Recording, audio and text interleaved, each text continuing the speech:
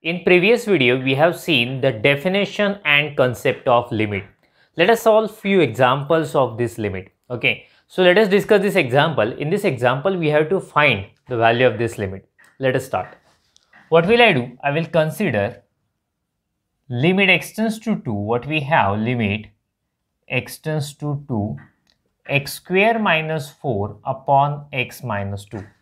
If I put directly x is equal to 2, we will have 0 at numerator as well as 0 at denominator. So we cannot put directly. We need to think over it. We need to simplify and we will always try to cancel uh, if possible few terms. Okay. So see as you know a square minus b square this is equal to a plus b a minus b. Definitely this formula we can use here. Let us use for numerator. What will you get?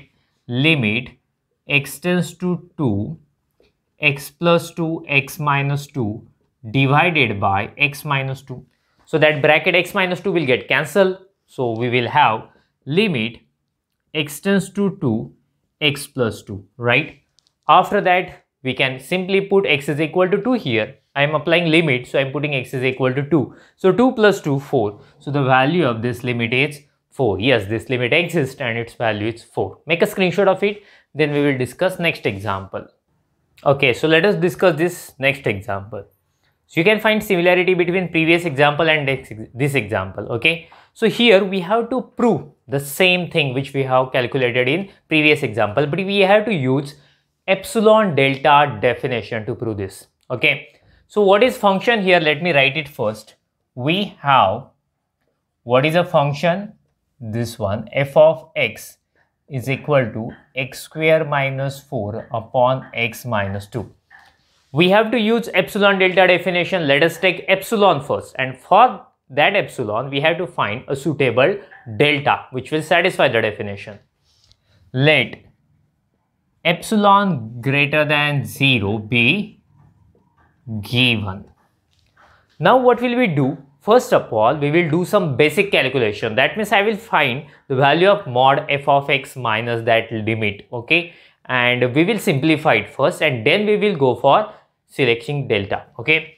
So see, consider I am considering mod f of x minus 4 since finally we have to prove that this is less than epsilon. So let us simplify it first. What is my f of x? X square minus 4 upon x minus 2, right? Minus 4 we have 4. Can you tell me what can we do now? Yes, definitely we can cross multiply. So if you cross multiply x square minus 4, if you cross multiply minus 4x minus minus plus 8 divided by x minus 2, right? So few terms probably will get cancelled. Yes, 8 plus 8 minus 4 getting, so we'll have 4 only plus 4 let me write that thing here. So this is equal to mod x square minus 4x plus 4 upon x minus 2. This is equal to.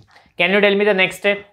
Yes, the numerator is a square of some bracket and that bracket is x minus 2. So that's why I can write mod x minus 2 square divided by x minus 2. So one bracket will get cancelled and we will have simply mod x minus 2.